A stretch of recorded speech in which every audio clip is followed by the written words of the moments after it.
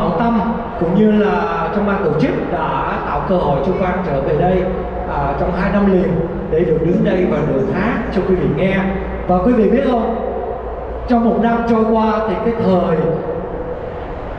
thời khắc của Tết Việt Nam là thời điểm mà Quang rất là thích.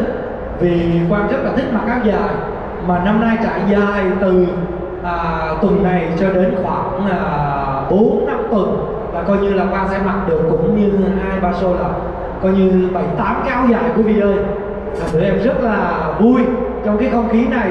Và trước thềm năm mới thì cũng xin gửi đến quý vị những lời chúc tốt đẹp nhất à, những à, lời chúc sức khỏe thật là nhiều đến cho tất cả quý vị.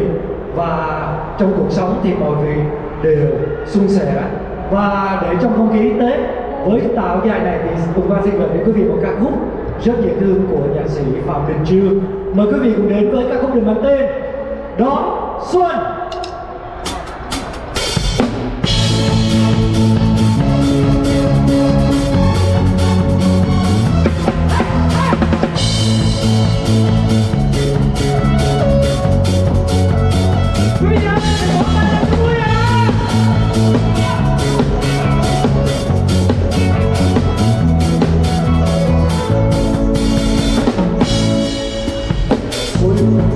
Đã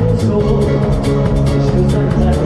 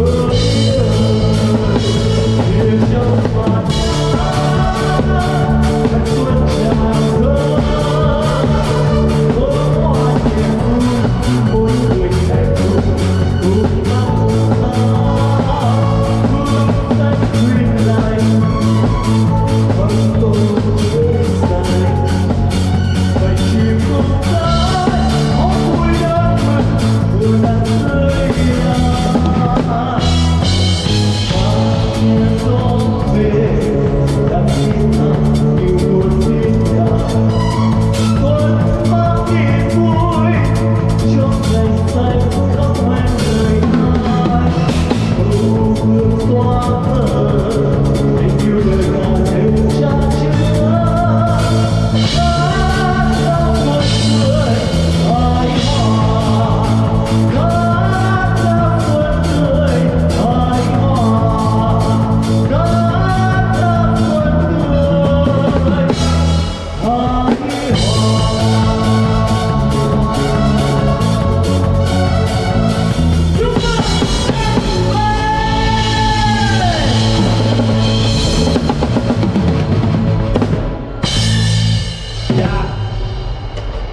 cảm ơn cô ạ. Dạ, cảm ơn cô ạ. tự động không? dạ. Cái nào? Có phải đánh cái nút tự động? à, Dạ, trong ban đúng tổ chức ơi bây giờ quan lỡ xuống rồi. Để em xuống là em không có chịu lên. Là từ giờ cứ việc tha hồ mà bán vé số à nó- và cái thưa quý vị thì ca khúc thứ nhì không phải là một ca khúc về